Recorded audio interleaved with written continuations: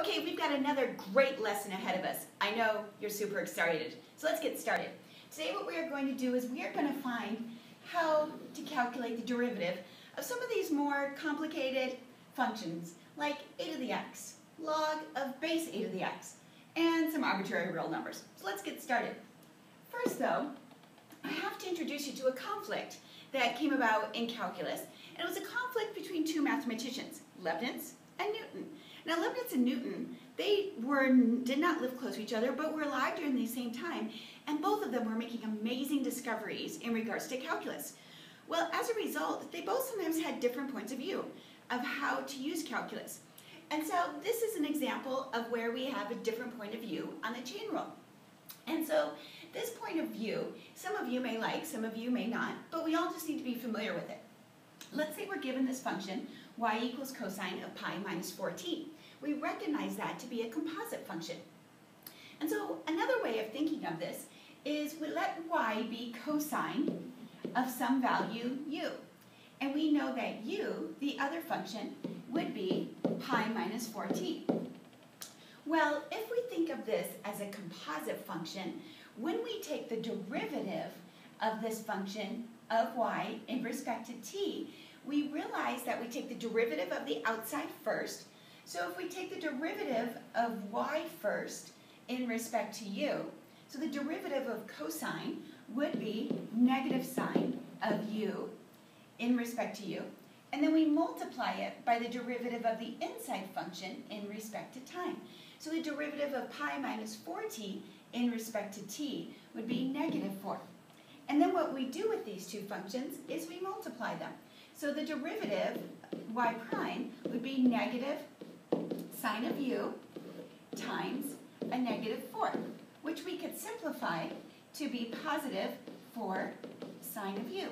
Now, the original problem was not given to us in terms of u, it was given in terms of t. So we would write it as 4 sine, and u is pi minus 4t. So really, we've done the same process, just set it up differently. Um, let's look at another example just so you can get, become more familiar with it, because sometimes you will see problems posed in this fashion. Oh dear. Let's see. Come on, baby. Work for me. Let me try this again. Uh, there we go. Okay, let's say we're given cosine of 6x plus 2. So again, we see it as a composite function. Cosine is the outer function, 6x plus 2 is the inner function. And so we'll take the derivative of cosine in respect to u, and we get negative sine of u. Actually, I don't like this example too much. It's too similar to the first one. What are you thinking, Klaiber? And then the derivative of the inside, 6x plus 2, would just be 6. So when we multiply these together, we'd get negative 6 sine of u. But the original problem wasn't written in terms of u, it was written in terms of x. So it would be negative 6 sine of quantity 6x plus 2. So let's step it up a notch. Let's get a different example. I think I got a better one coming up here. Okay, how about we have y equals 9 tangent of x to the third? x, I'm sorry, not x to the third, x divided by 3. Now in this example, we want to find the second derivative. So I could see that my two functions here, I could let one of the functions, um, let's say we could let y be tangent of u, and we can let u be x over 3. So if we take the derivative in respect to u, the derivative tangent is secant squared of u. Derivative of 1 third x would just be 1 third. And so we would end up with the derivative in respect to x would be secant squared u multiplied by 1 third. And we would have 1 third, but it has to be in respect to x, secant squared, and u is x over 3. Okay, so that would be the first derivative. But we didn't want the first derivative. No, no, no. We wanted the second derivative. So I, if I continued with this type of a format, I would say, okay, so my function y prime is one-third secant squared of u, where u would be x over 3 again.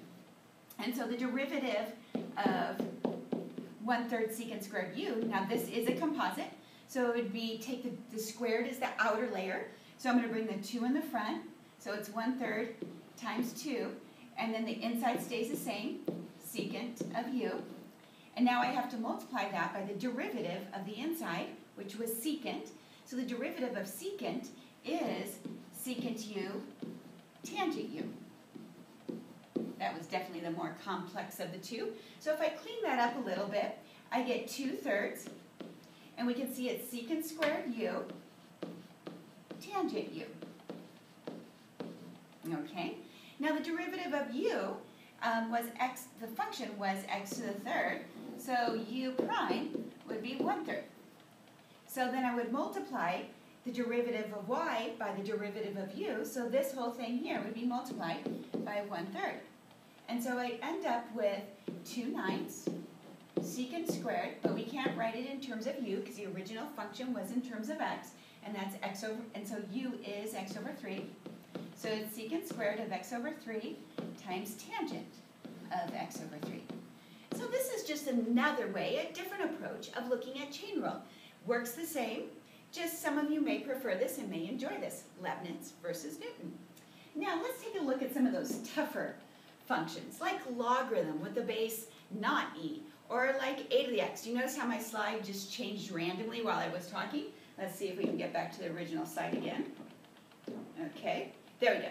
Now, in order to be able to take derivatives of some of those logarithms, we have to be reminded of the logarithm rules. And so remember, if you have log b of a is equal to c, do you remember how we rewrite that problem in exponential form?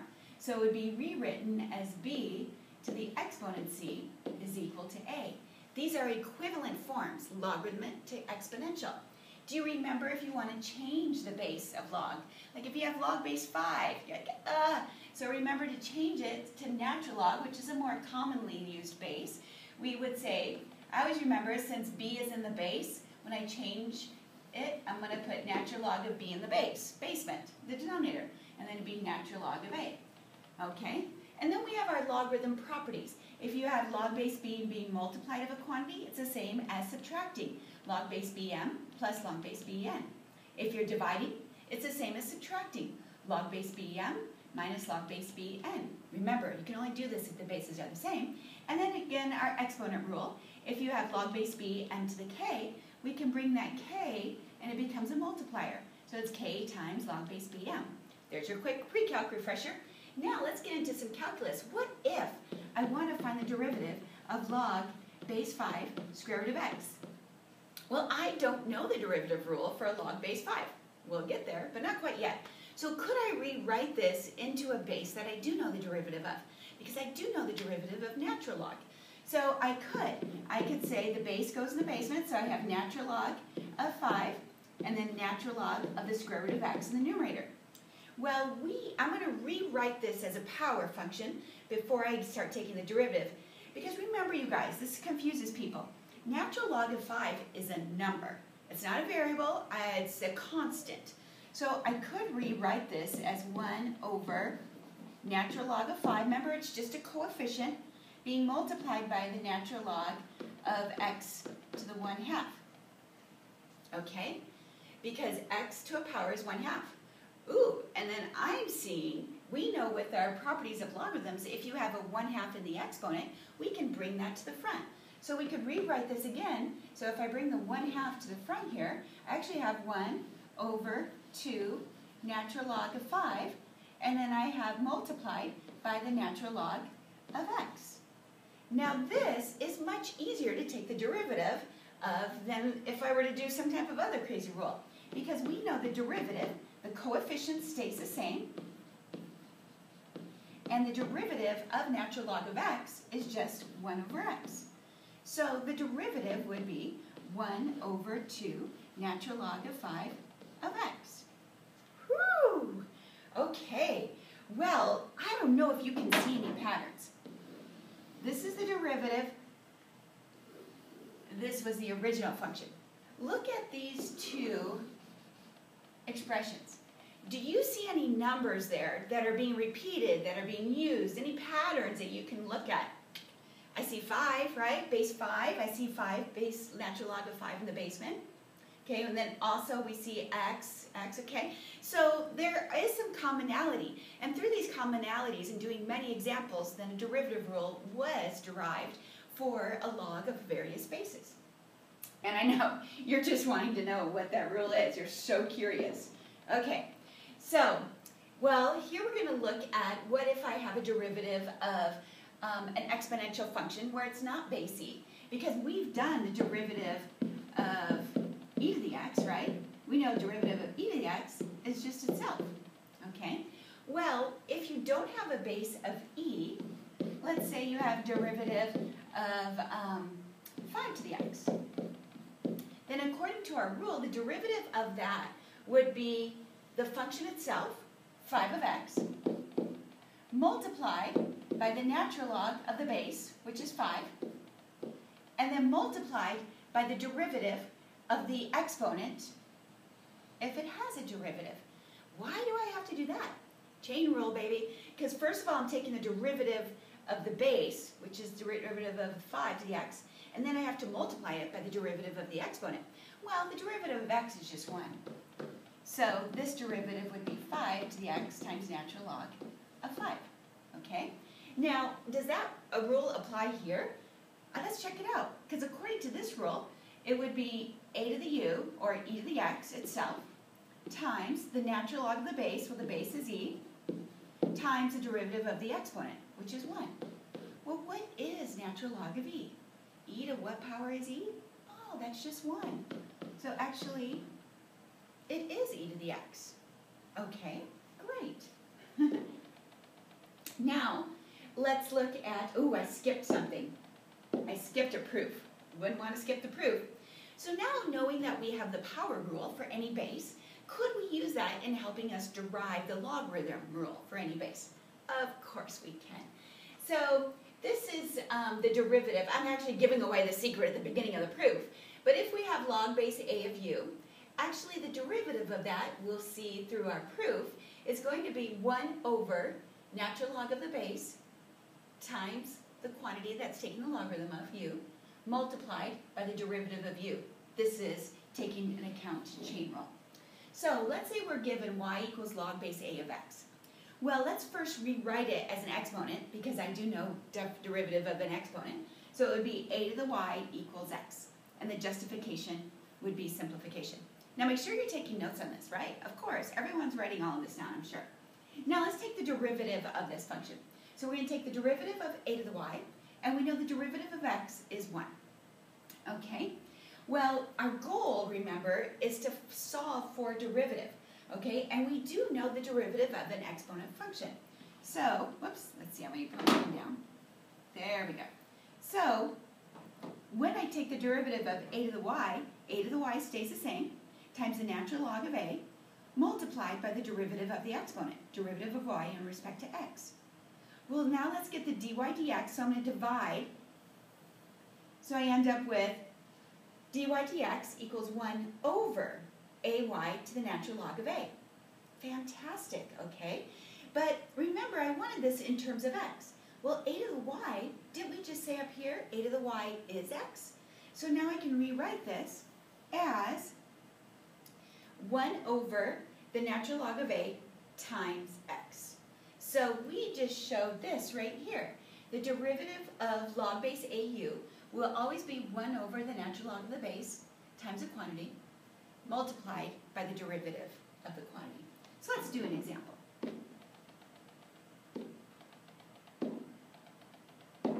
Move. Here we go. Log base 2 of 1 over x. Okay? So let's identify the parts. So the base is 2. Okay? The quantity, what am I taking a logarithm of? Is 1 over x. Or I'm going to write that in power rule, because it's always easier to take a derivative when written in power rule. So what would be the derivative of x to the negative 1? Well, I bring the negative to the front, so it'd be negative x, subtract 1, negative 2. Or another way of writing this is negative 1 over x squared. Now I take these pieces and plug it into the formula, because the derivative of a logarithm is 1 over natural log of the base. So natural log of 2 multiplied by the quantity u. Well, the quantity u is 1 over x. And then it's times the derivative of u respect to x. Well, that is negative 1 over x squared. Okay? So now we have to clean this up because we don't like complex fractions and fractions and such. So I notice the negative will come in the front, and I have 1 over, and notice this is 1 over x times x squared, so that will just leave me with um, x times natural log of 2. And that would be the derivative of the original function. Fantastic. Uh, okay, so these are your four derivative rules of logarithms and exponents. I will be giving you a sheet of paper when I come back, kind of like Christmas, of all of the rules written together. And these also can be found in your textbook. Okay, let's try two more examples and then we'll be done. So if we have this function, ooh yeah, it's stepping up folks, y equals e to the 5x plus 7 to the x plus natural log of quantity x cubed plus 4, and I want to find the derivative of that. We're going to take it piece by piece, okay? Well, the derivative of e to the 5x, do you see that this is a composition of functions? Do you see that I have to use chain rule? Because the original function is e to the x, and then it, the exponent is 5x. So what I have to do is I got to take the derivative the outside first. So the outside is e. So the derivative of e to the 5x is itself. So it would be e to the 5x, and then multiplied by the derivative of the exponent, which is 5. Don't forget that chain rule. Plus, okay, 7 to the x. So this is one of the new rules I learned.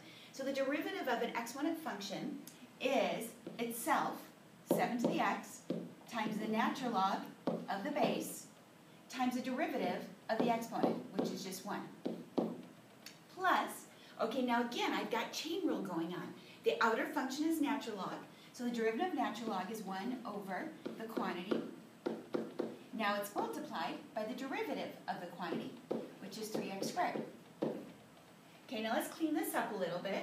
So I'm going to have 5e to the 5x plus, okay, so now we've got natural log of 7 times, I'm just going to write it like this so I don't get confused by that, plus, and then it's 3x squared over x cubed plus 4. Now nothing can be combined here, there's no negative exponents, there's no complex fractions, so that is my simplified answer. One more. Okay, y equals x multiplied by natural log of x minus 1. Take a minute to look at this. What rule am I going to have to apply to the first term? Do you recognize the product rule? x times another function. So when I take the derivative of this, I'm going to take the derivative of the first term, which is 1. Second term stays the same. Plus second term, oh no, the derivative of the second term, which is 1 over x. The first term stays the same. That right there is the product rule of the first term. Okay, so the derivative of the first term, second term stayed the same, plus the derivative of the second term, first term stayed the same, minus 1. So let's clean this up. So I get natural log of x, and then that just reduces to plus 1 minus 1. Oh, not so bad. There is my final answer. Woohoo! Have a great day, guys. See you soon.